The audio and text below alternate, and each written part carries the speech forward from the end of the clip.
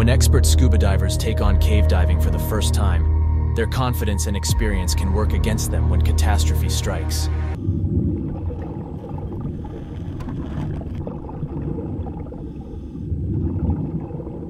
Either way, shortly afterward, the divers began to descend from the boat down to 30 meters or 100 feet toward the shipwreck.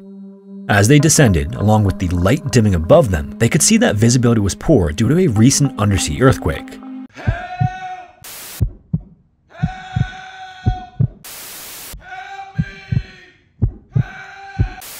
Golem Cave is an intriguing site, a short, dark entrance nestled into the mountainside and located in Provo, Utah, high up on the mountain, close to BYU's infamous Y Mountain. Some folks know it as the Cave of Death, or the Golem Cave, but for most folks, it was and continues to be completely unknown. One source says it was missed by city park employees sent to inspect the land when it was turned over to them as part of a development proposal to ensure open space. They had found it a year previous to the tragedy, but the entrance was only like 9 to 12 inches wide. What was the tragedy, you ask? Well, back in 2005, five friends decided to venture into the mountains at 2 in the morning looking for the secret cave.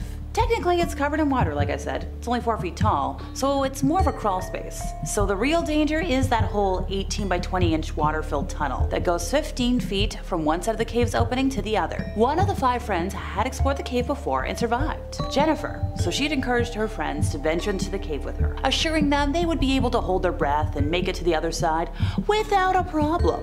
She was confident, despite the fact that she had sustained hypothermia and actually passed out the first time she had tested her luck in the Cave of Death. So she's got her buddies, Blake Donner, Scott McDonald, Ariel Singer.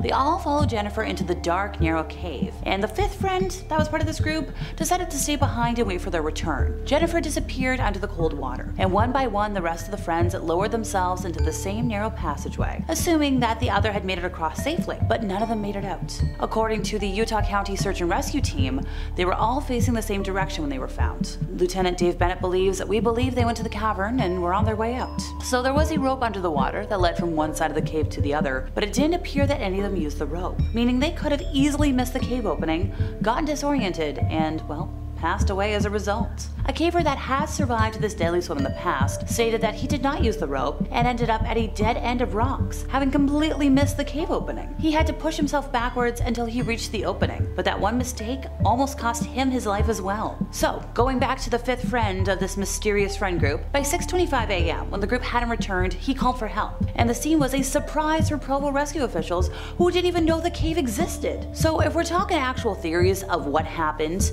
other than what I've already stated, one theory is that the four could have made it to the other opening of the cave, but died due to the high percentage of nitrogen underground. There only would have been 20.9% of oxygen, which would have been used up quickly after the group exited the water, replacing any good air with carbon dioxide. And it would have only been a few minutes before they became short of breath and had difficulty thinking, making it even harder for them to complete their exit swim back to the entrance of the cave. So, as you can imagine, with this tunnel being so narrow, it couldn't fit more than one person at a time. So each friend likely got into the water expecting a clear exit, but instead ran into a blockage as each friend ran out of breath before reaching the exit. And this would explain why all of the friends were found facing the same direction, one after the other, facing the exit hole. So what were rescue crews doing? Well, they were pumping water out of the cave. They were pumping oxygen back in. They were trying to provide air for the victims in case they were alive and running out of air. And the pumping lowered the water level by two feet. And that's how the search and rescue folks got in but it was nearly four hours from the time of the call to the police before searchers discovered the first body in the tunnel. All in all, this was a daring adventure gone horribly wrong that took the lives of four young individuals. So like I said before, crews eventually found the bodies,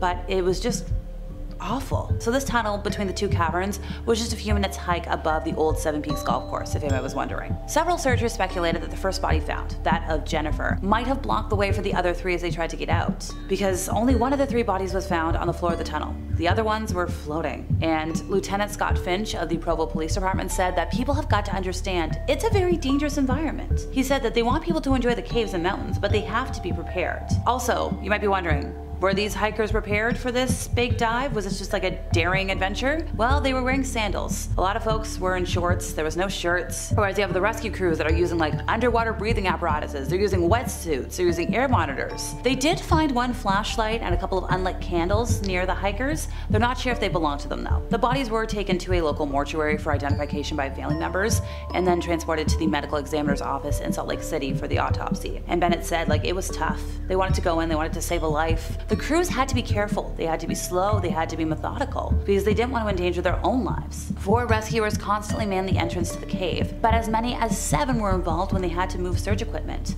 Several emergency agencies were involved. We're talking the Provo Police and Fire Mountain Rescue Team, Utah County Search and Rescue, Department of Public Safety Dive Team, the Orem Fire Department Hazardous Materials Unit, like everybody. By the way, going back to those candles I mentioned a moment ago, one source says they were actually lit, which would have made things even worse. And they're still not sure if those flashlights actually belong to the group, but still, once again, that would have used up energy, it just wouldn't have been great.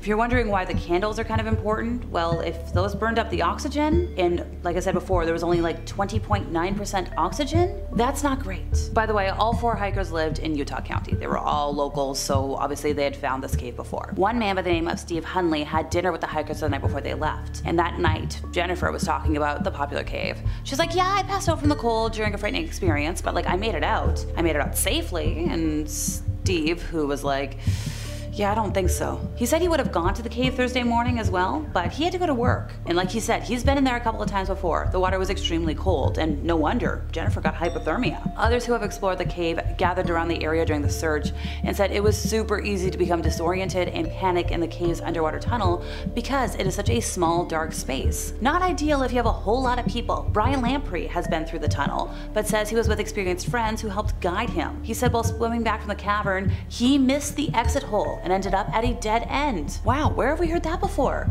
Only by scooting backwards was he able to relocate the hole and get out of there. So a report from the state medical examiner's office lists the cause of death of the four as, well, water-based, at least according to the Provo police record supervisor. So what about the families? Well, hours after they heard of their daughter's death, the parents of Jennifer remained heartbroken, but they were, I guess, relieved that their daughter was not alone. Jennifer's father mentioned like his parents had passed away previously, and when he heard about Jennifer, the first thing he thought was that she was being greeted by them in heaven. He credited his family's faith and a strong support system of family, friends, and members of their community for helping them through the day. He said he was grateful for his beliefs.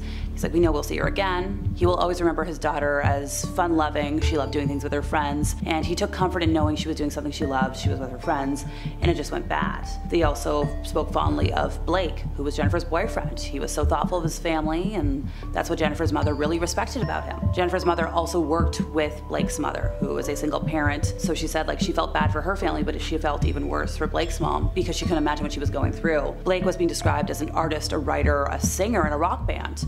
Turns out, I think they all friends were in the band. He was a student in school. He was involved in a lot of charity organizations. According to Provo police, the fifth person was also a musician. So like I said, they were all part of this band, but now, sadly, he's the last person who saw his friends alive. He's just one of many suffering from that incident to this day. Never said a word on camera, never spoke in interviews, but the raw emotions just spoke volumes. Like after this, you saw the friends of the victims, you saw dozens of them trying to comfort one another in the face of an unthinkable loss. Thankfully, after the bodies were removed, the authorities decided to seal the cave with cement to prevent any further disaster, and a plaque now stands in remembrance of those who lost their lives. And that's all, folks. We'll see you next time.